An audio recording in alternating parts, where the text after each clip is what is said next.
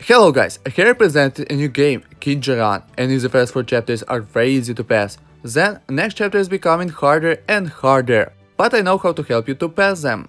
So guys, in this video I will show you skills that will boost your damage and will help you to kill enemies faster, and tell you which skills are better to avoid because they can lower your attack.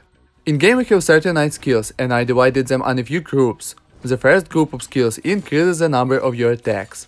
Twin Fire skill gives one extra attack and weapon attack, but not all of you know that this skill decreases your attack for all attacks on 25%. So, if one Twin Fire in most cases increases your attack, then two Twin Fires will decrease it. And Twin Fire is powerful with combo skill, which causes weapon to attack twice for each attack. To make it more understandable for you, I'll do some calculations from one of my runs. My attack is 20 and I chose Twin Fire, so my attack became 15 but as Twin Fire gives one extra attack, my total damage is 30. Later I got combo skill that causes weapon to attack twice, so I shoot 4 projectiles which in total do 60 damage. As you can see guys, by using these two skills I tripled my attack, and if I had another combo skill, my attack would be 90. But there are some situations when you should avoid Twin Fire skill. Prone Shot skill fires diagonal arrows, and if you use an Iron Boomerang and it doesn't really lower your attack, then in case with Frost Wand, I do not recommend to choose Twinfire. Give me a minute and I'll explain why. As you can see, when you use Frost Wand, all your arrows fly at target enemy, so your diagonal arrows are not really diagonal anymore. And the thing is, Twinfire lowers 8 damage. I will calculate again to show you that Twinfire is not needed if you use Frost Wand. For example, your attack is 100, with diagonal arrows it is 300. Now we add Twin Fire. It gives one extra attack, but lower damage on 25% for each arrow. So we'll have 4 arrows doing 75 attack or 300 in total. As you can see, total damage is the same, and when you will choose to this combination combo skill, it will just lower your damage while in case without Twin Fire skill, it will be much higher. Split skill. Splits attack on enemy hit and split attacks do on 50% lower damage. At the beginning it's a good skill as in some stages you have many enemies, but for a final boss I wouldn't choose it. Because you won't do any damage to a boss or mobs as they're not standing on the same line. And the last arrow skill is Ricochet, weapon attacks bounce once on hit, and bounce projectile does the same damage. A very powerful skill especially helps with boss fights. Most bosses are not really hard to beat, it's just hard to avoid their projectiles with mobs projectiles. But when mobs are defeated, it is very easy to avoid boss projectiles and kill him. Next group contains Shadow Warrior skills. I like them much and at the same time I don't choose them. The problem of using them, when you fight against a boss or a few mobs, you have to avoid many projectiles, and with Shadow Warriors it's really hard. Because you may think that a Shadow Warrior is your character and instead of avoiding projectiles, you just receive damage. Anyway, it is good to use them when you farm or have enough health to receive many projectiles. So the first Shadow Warrior is Phantom, it summons Kunai. For this skill choose Enhance Kunai, as it enhances Kunai damage.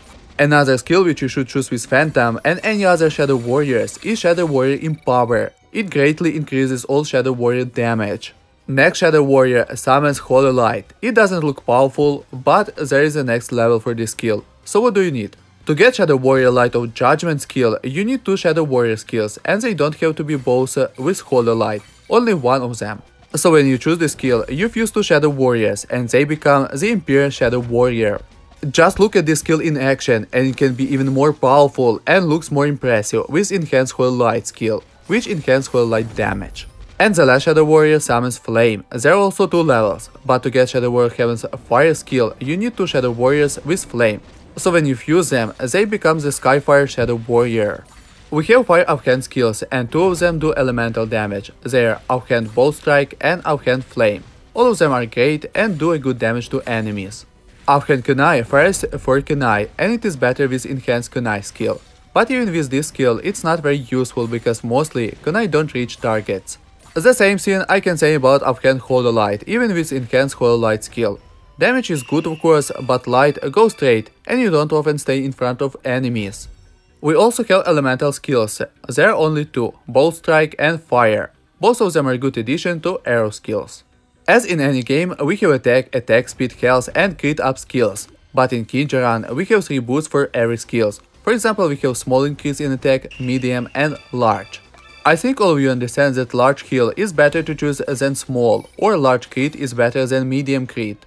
Next group contains only two skills and the first is Omni Boost. It increases all stats, like attack speed, crit, so always choose it. And the second is Last Stand. When health is below 40%, damage is increased by 40%. I cannot say that this skill is very useful because it depends on how you play. Anyway, I like it and almost always choose it. And to the last group I added skills that restore your health or can revive you, skills which can save you. Firstly, I recommend you to choose always, unless you are farming or chapter is very easy. But the last skill, Bloodthirsty, isn't useful in this game, because you don't meet a lot of enemies on your way. And guys, there is only one skill which I can figure out what it really does. Whale Fall skill increases elite monster and boss health regen. Is it a skill for enemies or what? Because it sounds so. Write in comments your thoughts about this skill. So guys, there were all 39 skills. If you want more video guides for Kinja Run, then like this video and don't forget to subscribe if you haven't done it yet.